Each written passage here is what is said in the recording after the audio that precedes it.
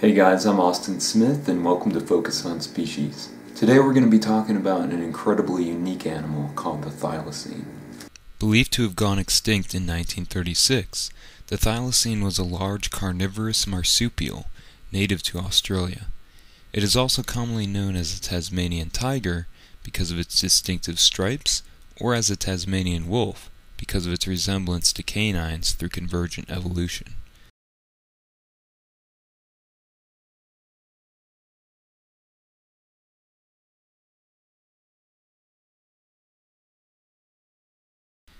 Originally found on the island of New Guinea, continental Australia, and the island of Tasmania, the thylacine appears in ancient aboriginal rock art.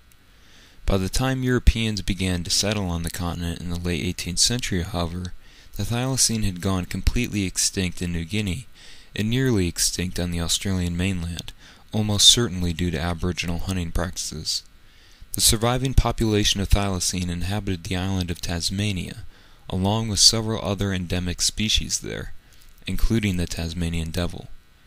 The first definitive encounter between a European and a thylacine occurred in 1792, but it was not until the early 19th century when the first detailed descriptions of the animal were produced.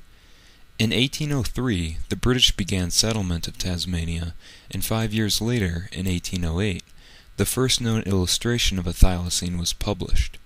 Numerous representations were produced during the early 19th century, like this painting from 1817, but they remained inaccurate in many ways. Eventually, more accurate illustrations began to be produced, like this one from 1861. Similar in appearance to a large, short haired dog, the thylacine had a long, stiff tail that extended from its body much like that of a kangaroo. Its color varied from light to dark brown, with 13 to 21 dark stripes across its back. The lifespan of the thylacine was anywhere between 5 to 9 years. Females had a pouch, like other marsupials, where they would carry their young pups. In this 1898 photograph of thylacines at the Adelaide Zoo, the female in front can be seen bearing pups in her distended pouch. The animal's jaws had the unusual ability to extend open up to 120 degrees and were filled with sharp teeth for eating prey like wallabies, wombats, and birds. The thylacine was also able to balance on its hind legs, standing upright and performing a bipedal hop, much like a kangaroo, for brief periods of time. The thylacine inhabited the woodlands and coastal scrubland of Tasmania. It was generally noted to be a shy and secretive creature, a nocturnal hunter, and usually avoided contact with humans. As British settlement of Tasmania increased during the 19th century, the thylacine began to be associated with numerous attacks on sheep and later poultry.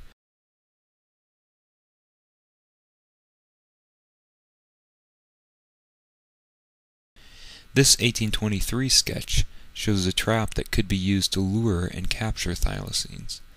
A bounty was created in an attempt to reduce thylacine numbers as early as 1830. This 1869 photograph shows a hunter with his trophy.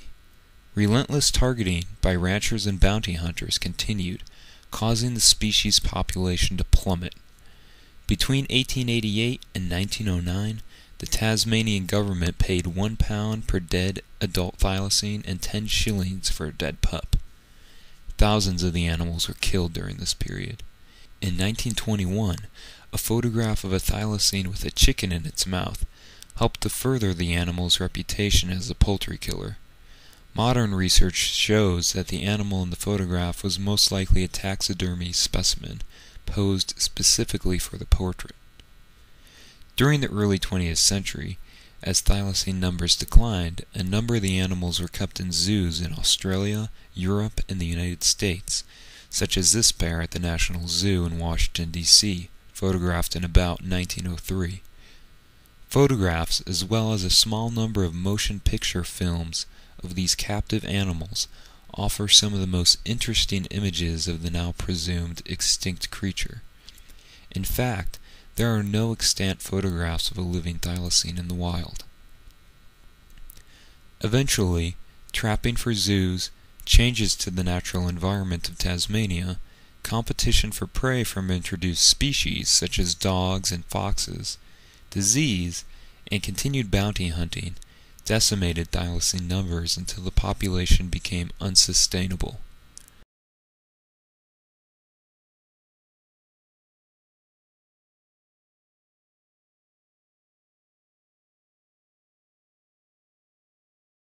One of the last known wild thylacines was killed in Tasmania in 1930, photographed here with the farmer who shot the animal, along with his seemingly frightened dog. The very last known wild individual was killed in 1933, found dead in a snare. The last captive thylacine was held by the zoo in Hobart, Tasmania, until September 7, 1936, when the animal died most likely due to neglect. Since then, several searches have been undertaken in attempts to discover surviving populations of the thylacine in Tasmania, but with no convincing results that any survive. Despite this, thousands of sightings of thylacine in Tasmania, as well as in parts of mainland Australia, continue to be reported into the 21st century. While no conclusive evidence has been brought forward for the species' continued existence, there is enough information to suggest that the thylacine may still survive. During the first decade of the 21st century, cloning a thylacine from a preserved specimen had been discussed. It is now known, however, that the absence of a suitable surrogate species and the inability to extract the full genome of a thylacine from the DNA of a museum specimen renders cloning of the animal almost certainly an impossibility. In 2005, the compilation of the International Thylacine Specimen Database was completed.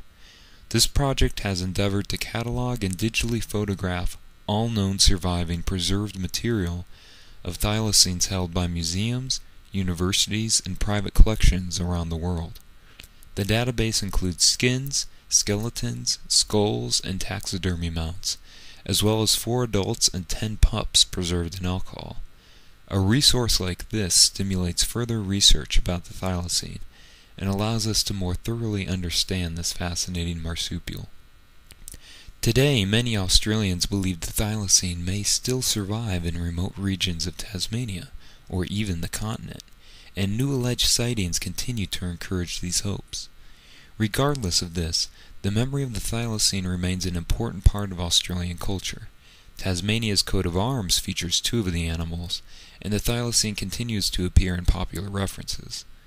The Australian beer, Cascade Premium Lager, even uses images of a thylacine on its bottles and packaging.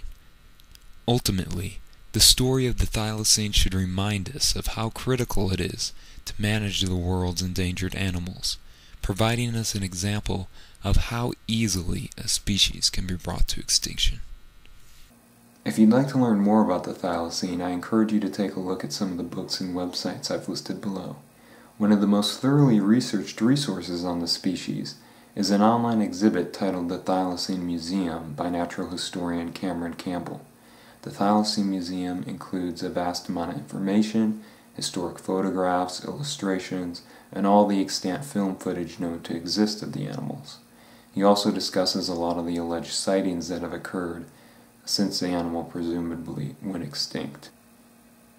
I hope you join me again in discovering the rich diversity of our world on the next episode of Focused on Species. If you enjoyed this episode, be sure to let me know by liking the video or leaving a comment below. Questions are welcome as well. Also, consider subscribing to my YouTube channel and checking out some of my other series such as Wanderlust, where I explore our amazing world and adventures to incredible locations. Thanks for watching.